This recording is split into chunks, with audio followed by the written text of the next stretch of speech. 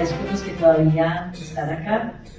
Eh, esta charla es súper valiosa, súper importante porque nos afecta a nosotros también profesionalmente y nuestro quehacer. Eh, desde ACRO este año iniciamos en el comité eh, que está en el proyecto de ley de la ley de seguridad nuclear y protección radiológica. ACRO está incluido y estamos pues muy orgullosos de estar ahí y que nos tengan en cuenta y por eso hoy nos acompaña el doctor Camilo Prieto Valderrama. Él es embajador en Colombia del Instituto Mundial de Seguridad Nuclear, WINS, investigador del Grupo de Asuntos Nucleares del Servicio Geológico Colombiano y profesor de la Universidad Javeriana en las áreas de cambio climático y salud ambiental. Es médico y cirujano plástico, o sea, colega de nosotros también. Magíster en Energía y Sostenibilidad, Magíster en Filosofía y candidato a doctor en Ingeniería. Muchos puestos, doctor. Bienvenido.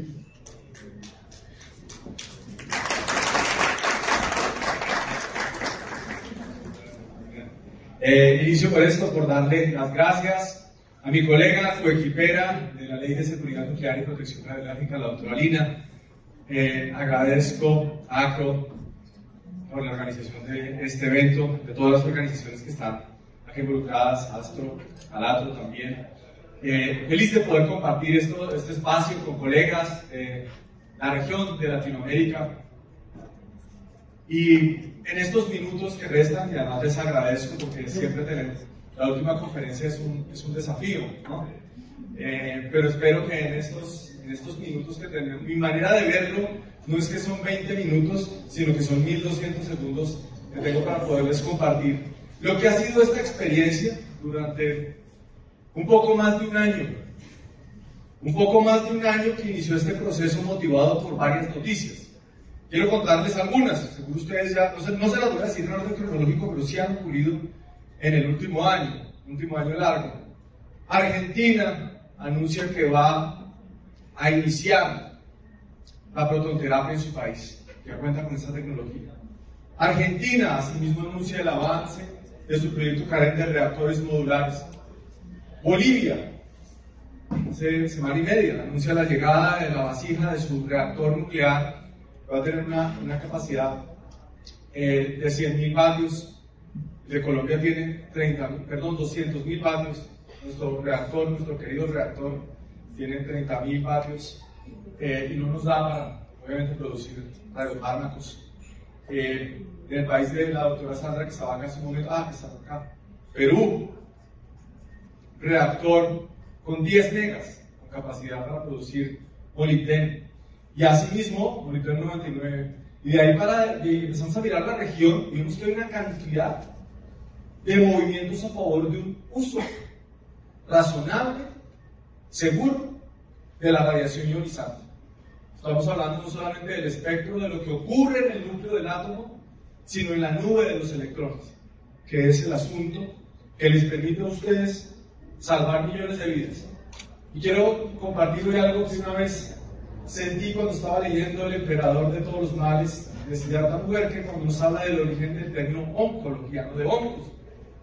Ustedes, tengo el privilegio de poderse decir mirándoselo a los ojos, son la especialidad que le quita cargas a los seres humanos, les quita no solamente masas, sino sufrimiento a los seres humanos.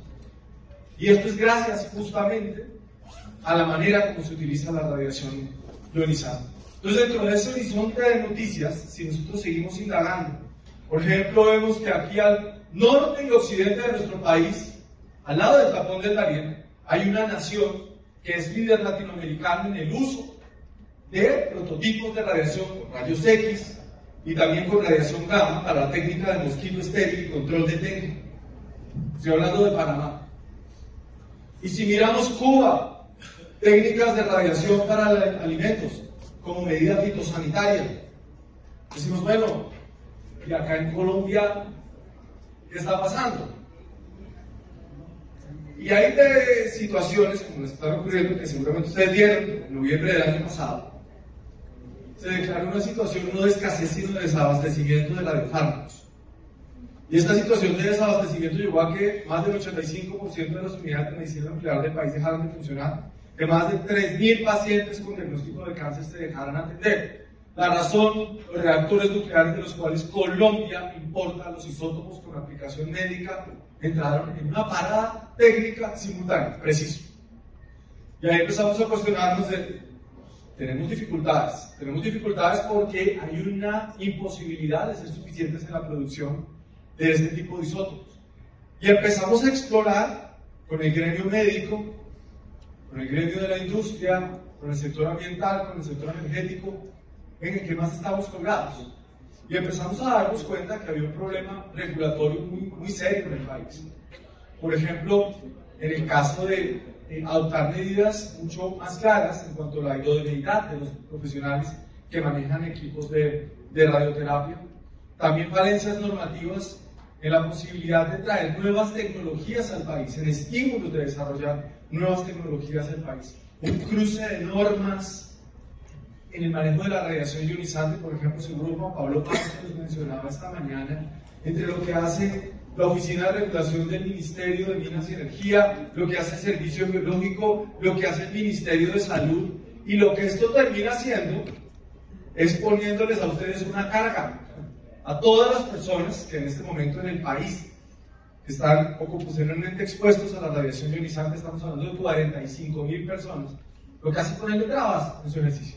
Cuando sabemos que un paciente con una enfermedad oncológica lo que necesita es celeridad, porque cada día que pasa sin el tratamiento puede generar variaciones en los pronósticos.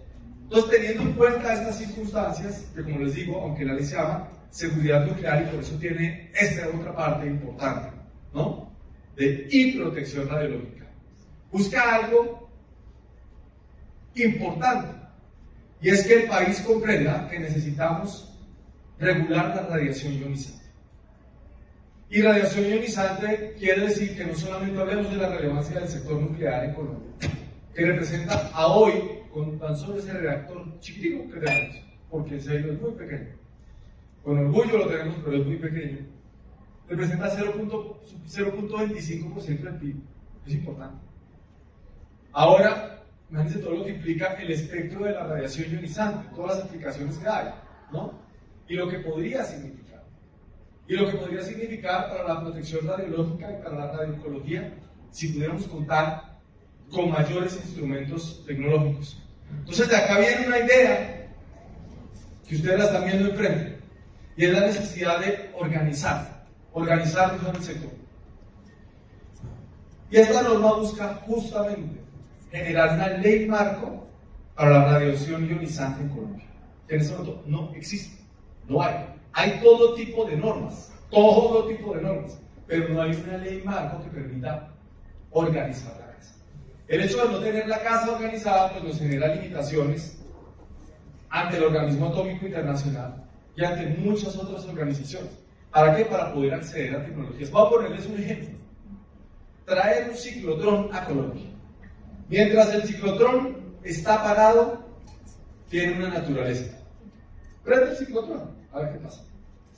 Ya su naturaleza jurídica, su uso, tiene un sentido completamente distinto dentro de la legislación colombiana.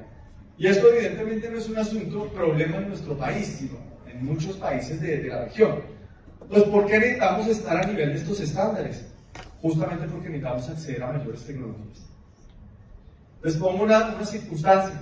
Si en este momento quisiéramos tener una aplicación ambiental, con el nitrógeno 15, por decir algo, para poder monitorizar la cantidad de urea que se utiliza en los cultivos, ser más eficientes con la aplicación, ser mucho más juiciosos con los vertimientos, necesitaríamos tener un mayor nivel de estándares para poder traer esas tecnologías.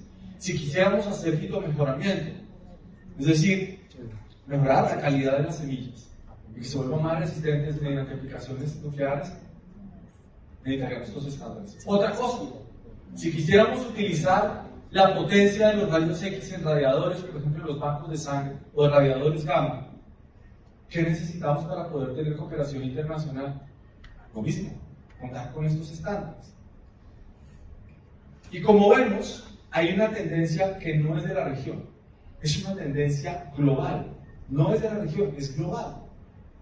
A empezar a utilizar la radiación ionizante No solamente por eso de que sea fines pacíficos, creo que eso ya lo hemos por descontado, sino en múltiples campos. ¿Y qué nos ha permitido, les digo, este ejercicio de realizar mesas en las cuales SACRO ha participado? Les voy a contar qué mesas hemos realizado para desarrollar este proyecto de ley. Salud, ambiente, energía, agricultura, una mesa general también, de acuerdo. Nos falta ahora una mesa del sector industrial Hemos llegado ya a un nivel en el que hemos encontrado aprobación para el desarrollo de este proyecto de ley por parte del Ministerio de Salud, por parte del Ministerio de Minas y Energía, por parte de la Cancillería, por parte del Ministerio de Comercio, por parte del Ministerio de Ciencia y Tecnología. Y en este momento, mientras ustedes y yo estamos teniendo esta conversación, el Organismo Atómico Internacional estamos pendientes de que envíe sus comentarios al proyecto de ley, que en este momento es un borrador. Eso también se los aclara. No está escrito sobre piedra sino es un borrador, que de hecho desde ACRO pues en este momento se está discutiendo y se van a generar aportes. Ahora, fíjense que hay algo que quiero destacar, porque también hay que aterrizar, hay que aterrizar las expectativas. Este proyecto de ley no busca regular ni el ejercicio de la medicina nuclear, ni tampoco de la radiooncología, no, no busca hacer eso, ni tampoco de la neurocirugía, no, no busca hacer eso. Insisto, busca generar un marco regulatorio que de ahí nos permita generar ventanas de oportunidad claves para actualizar regulación. Entonces ahí el, aporte de ustedes va a ser esencial. Nadie más en el país conoce mejor su situación que ustedes. Yo el otro día hablaba con un colega de otra especialidad, que no voy a mencionar ni al colega ni a la especialidad, pero me decía, mire Camilo, esa norma está llena de requisitos. Dígame dónde están mis derechos. Dígame, cuéntame. Yo no voy a apoyar esa norma, por eso le dije, bueno, cuéntame cuál es tu lista de aportes a la norma. ¿Qué, crees que se le debe cambiar? ¿Tienes una lista? No, no la he hecho. Pero es que yo estaba buscando era mis derechos ahí. Mira, esta no es una ley de iniciativa gubernamental, que también les comparto. Esto no es iniciativa del actual gobierno. Esto es una iniciativa que es de la sociedad civil, en la cual hemos encontrado apoyo de diferentes partidos. En este momento, quien inició el liderazgo en el Congreso de la República es la, representante María Martizano, que es el partido de gobierno, Pacto Histórico. Pero también tenemos como autor a Juan Espinal, que es representante de la Cámara por el Centro Democrático. Es decir, tenemos el espectro político para, para la autoría del proyecto. Tenemos Partido Liberal, tenemos Cambio Radical, como autores del proyecto. Eso es un mensaje para el país. Y si vamos a enviar un mensaje, colegas, tiene que ser un mensaje muy bien estructurado. Un mensaje en el que haya claridad de qué es lo que queremos. Y en el que esté presente, y es un bueno y lo subrayo, que este momento que estamos viviendo es como una ola. Estamos en una ola. Yo le decía a Lina, estábamos tomando un café en Medellín, le decía, mira Lina, yo no sé cuándo se repita esto, no tengo ni idea. ¿Cuándo confluya esto? Que en medio de este vulcanismo que vivimos en América Latina, y esas convulsiones políticas que tiene nuestro país, hayamos podido poner de acuerdo cuatro partidos distintos y estemos sentando a gremios desde diferentes orillas. Así venga, sentémonos, lleguemos a consensos para este proyecto. Yo no sé cuándo se vuelva a dar eso. Entonces por eso tenemos que aprovechar la oportunidad para construir. ¿Qué se necesita? Que nuestro país tenga, como ya lo tienen otros países. Y les confieso algo. El proyecto de seguridad nuclear y protección radiológica más actual que tiene la región de 2019 es el de Bolivia. Y gran parte de la inspiración del texto viene de Bolivia, precisamente. Y uno de los entes que necesitamos tener en nuestro país es esta comisión. Y esta comisión va a necesitar un consejo asesor. Y uno diría, pues es como mínimamente obvio que si el proyecto es de protección radiológica, pues uno se imaginaría que ACRO está ahí, pues uno se imaginaría, ¿no? Entonces es como lo más obvio. Lo más obvio entendiendo que hemos venido trabajando en equipo. O sea, ahí se vuelve obvio, si no, no fuera una novedad. Hoy, hoy yo no estoy invitándolos a participar como autores de todo este cuento, no, sino es a invitarlos a que tengamos más iniciativas para que podamos alimentar toda el proyecto. Porque ACRO, evidentemente, hace parte del proyecto. Fíjense que hay una distancia muy grande cuando uno está pendiente de qué va a proponer el gobierno. Bueno, estos que tienen para proponer. Y pues todas las semanas salen propuestas, siempre, todos los gobiernos cada semana hacen un anuncio. El 99.9 de esos anuncios, pues, en cualquier gobierno. No estoy hablando de cualquier. Eso puedo decir, pueden decir, puede decirlo uno ahora o en 100 años atrás, adelante, bueno. No se cumplen muchas de esas cosas que se dicen, pero uno está pendiente de los anuncios gubernamentales. Acá es al revés. Acá no podemos estar pendientes qué nos va a decir el gobierno. Somos los ciudadanos los que tenemos que asumir esta iniciativa por un asunto que necesita nuestro país. Se los reitero, lo que pasa en el núcleo y lo que pasa en las nubes de los electrones salva millones de vidas, pero necesitamos que nuestros colegas tengan mejores herramientas para trabajar, un marco regulatorio mucho más claro, que Colombia conozca qué es en general la radioterapia, que entienda para qué sí, que quienes lideran el sistema de salud comprendan la costo-efectividad que tiene la radioterapia. ¿Y quiénes se lo tienen que señalar? Precisamente, ustedes. ¿Cómo hacemos para que Colombia comprenda esto? A través de la pedagogía, a través de los escenarios de discusión.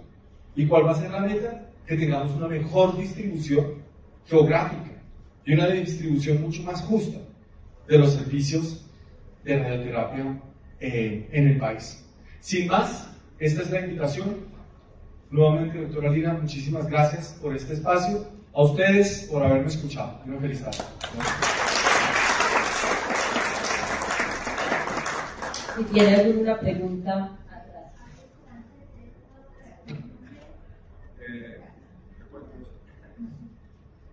De hecho, una de las metas del proyecto de ley, ¿recuerdan su nombre? Perdón. Ah, Ah, perfecto. Mira, una de las grandes metas que tenemos es que Colombia pueda tener un reactor de investigación con capacidad para producir isótopos de, de uso. Entonces estamos hablando de 5 megas, 10 megas cada uno.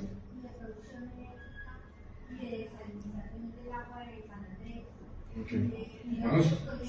uy, está súper bien informada, muy bien documentada. Pues te cuento sí me, emociona que tengas esa claridad sobre las ideas, voy a decir dos cosas. El Plan Energético Nacional 2022-2052 eh, contempla particularmente dos escenarios, uno que se llama el escenario de actualización eh, y un escenario de transformación, los reactores nucleares modulares y también contempla incluso reactores de alta potencia, ¿sí? de distribución se llama ese escenario. Eh, generarían, o no generarían, tendrían alrededor del 1.5% de la capacidad instalada del país a 2052. Lo que plantea ese, ese plan energético nacional es entrar de reactores nucleares a Colombia para nucleoelectricidad desde el 2040. ¿Sí? Incluso hay un CONFES que menciona los reactores, los reactores de potencia. Eh, ya como una opinión personal te diría, en un estudio que estamos desarrollando ahorita en la Javariana, estamos apenas iniciando el enfoque va más hacia dos cosas, reactores modulares en sistemas híbridos con fotovoltaica en zonas interconectadas, particularmente estamos haciendo un modelamiento para Leticia, y lo que plantea es fundamental en desalinización. Ojalá podamos tener estos sistemas en San Andrés, en La Guajira, son muy eficientes. Un reactor de estos, el calor se puede utilizar para desalinizar, para producir urea. Entonces hay países donde se generan distritos de calor alrededor de los, de los reactores. Entonces la esperanza sí está todo, pero necesitamos poder tener se puede mover y donde haya falla de electricidad puede ir y darle electricidad a una parte del país que se haya quedado por alguna causa sin electricidad. Hay unos, hay unos reactores que se llaman microreactores. ¿sí? Estos microreactores sí son, son móviles. Em, han tenido más aplicaciones militares y de hecho en, Estados Unidos las primeras aplicaciones se dieron y ahora se está buscando tener aplicaciones, eh, por ejemplo, para el manejo de desastres particularmente. Sí, esa, es, esa es una de las aplicaciones que está funcionando. Los, los reactores modulares están por encima, por encima de, esta cantidad, o están por encima de 10 megas, pueden llegar hasta 300 megas. De ahí para abajo estamos hablando de, de microreactores. Pero sin duda, claro, son posibilidades tecnológicas que están ahí disponibles. Gracias. Claro que sí. Buenas tardes. Yo tengo una pregunta. ¿En el proyecto de ley hay participación de la Asociación Colombiana de Físicos Médicos? Claro que sí. A. De hecho, ¿cómo es tu nombre, perdón? Edwin Rosso. Edwin, el martes tenemos una conversación con Natalie, que seguro que conoce a Natalie. Estamos Natalie, Ángela Badía también, de WIN. Vamos a estar en el Club del Nogal, por ejemplo, socializando el proyecto. Entonces, Acofimed está en la jugada. De hecho, Natalie Barbosa hizo la presentación. Eso les voy a decir, me generó algunos problemas con algunos colegas porque lamentablemente todavía existen como muchos ceros a veces entre las especialidades o las diferentes áreas de conocimiento, ¿no? Natalie, por ejemplo, hizo, hizo la presentación del diagnóstico en este momento del sector médico nuclear en el país, la hizo en el Congreso de la República. Hizo una excelente presentación, entonces por supuesto que están ahí físicamente. Vale, muchas gracias. Sí, así es. Medicina nuclear también, con la doctora Emperatriz, que es la presidenta Emperatriz Angarita, estado muy pendiente. Entonces, es interesante porque hemos ido sumando apoyos y, miren, casi se me olvida decir, no me puedo decirles esto. Yo tengo, yo tengo un anhelo.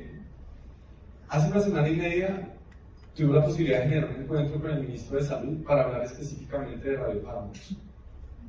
A mí me encantaría poder concretar con el ministro de Salud para poder hablar de radiología, de protección radiológica. Eso sería fascinante. Ahí tendríamos esa tarea. Entonces, ahí tenemos. No, por eso, y ahí, y ahí vuelvo y lo digo, tengo ese anhelo, ojalá se pueda concretar. Ah, maravilloso. Ah, maravilloso, fantástico, sí, ojalá, ojalá eso se pueda. Pues como ustedes ven, esto, esto no es una mirada unipolar, sino que es un espectro de miradas desde, desde diferentes sectores. Estoy hablando, ah, por favor, Sandra. Sí, realmente me parece genial la participación de los físicos médicos. Ya que vas a hablar con el ministro de Salud, te pediría a nombre de la Asociación Latinoamericana de Física Médica que nos ayudes a que ellos se convenzan de la importancia del físico médico en cada una de las áreas. Que cuando hables de radiofármacos digas cuál es la labor y qué hace el físico médico en el área de medicina nuclear, radioterapia, radiodiagnóstico. Realmente si nos ayudan con eso sería un golazo. Porque en toda nuestra región esa es una gran tarea que tenemos que el físico médico sea reconocido como staff dentro del Ministerio de Salud en cada uno de nuestros países. Claro, así debe ser, estoy completamente de acuerdo. Eh, ¿Específicamente qué? Ah, de consenso. Eh, es, sí, claro. Claro, nosotros de hecho les cuento un poco, me parece importante que eh, lo conozcan. En Colombia, nosotros en este momento somos, hacemos parte de la Junta de Gobernadores como país, eso es lo primero. Segundo, somos Estado miembro también de, del Organismo Atómico Internacional. Y adicionalmente, eh, hacemos parte precisamente de la organización que represento, que es el Instituto Mundial de Seguridad Nuclear. Eh, y aprovecho para hacerles un ofrecimiento. Las personas de la región, no solamente de Colombia, de la región, que quieran acceder a becas, como pues, por ser parte de la región, se puede acceder a estos cursos, son unos cursos que son online, se certifican, tienen unos procesos de verificación bastante estrictos, pues son bien interesantes. Entonces, quien estén interesados me puede contactar eh, y pues podemos conversar para poder acceder al sistema de becas. ¿De acuerdo? Muy bien. Perfecto. Entonces, ah, adelante, por favor, te, te pasan el Buenas tardes, eh, gracias por la presentación. Mi duda es, ¿qué discusiones han tenido alrededor del recurso humano? Es decir, tenemos el reactor modular chino, ¿cómo se capacita y quién lo maneja? Porque un desastre un reactor de estos podría ser pues, Claro, mira que estás tocando un punto muy interesante. Precisamente el nombre de la ley arranca como seguridad nuclear. ¿sí? Y cuando hablamos de seguridad nuclear, estamos hablando de dos tipos de seguridad seguridad tecnológica y seguridad física la instalación. ¿De acuerdo? Entonces, parte de lo que contempla el proyecto de ley es impulsar la formación de talento humano en nuestro país. Eso por un lado. Lo otro es que en esta conversación está sentada la Universidad de Antioquia, la Universidad Nacional, la Universidad Javeriana, precisamente pensando en cuáles son las necesidades futuras que va a tener el país la Universidad Nacional de Medellín está planeando el desarrollo de una maestría, perdón, es maestría, por ahora es especialización, especialización en reactores nucleares. Dices, pero ¿cómo así? Si en Colombia tenemos solo uno, sí, pues ya se está pensando. Precisamente porque estamos, yo digo, no diría soñando, sino teniendo ese anhelo muy claro y estructurado, porque no es un sueño de, ay, yo quisiera, no, no, esto es con realidades, ¿no? Eh, precisamente a futuro pensando cómo, cómo hacer esta implementación. Hay algo que nos, un argumento que nos sale en muchos lugares, se nos confiesa, nos dicen, oiga, pero en un país como Colombia, con tanta violencia y con tantos problemas, ¿cómo vamos a tener un reactor nuclear? precisamente para eso están todas las estrategias de seguridad física nuclear y pues miremos el caso de México. ¿Sí? O sea, si hay un país con unos índices bien complicados, ahí viene la cantidad de avances que hay en el desarrollo eh, de reactores nucleares en esta región de Latinoamérica. Entonces yo, yo creería que ese ni siquiera alcanza a ser el argumento suficiente, eh, precisamente porque las tecnologías han evolucionado a tal punto en que pues ustedes lo conocen. La industria nuclear es la más segura del mundo, o los estándares más altos. De hecho, las otras industrias copian lo que pasa no solamente con la seguridad nuclear, sino en general con la radiación ionizada. Entonces, eh, no, es una preocupación, claro, completamente legítima. Y estamos muy conectados con eso. ¿Listo? Muy bien. Gracias.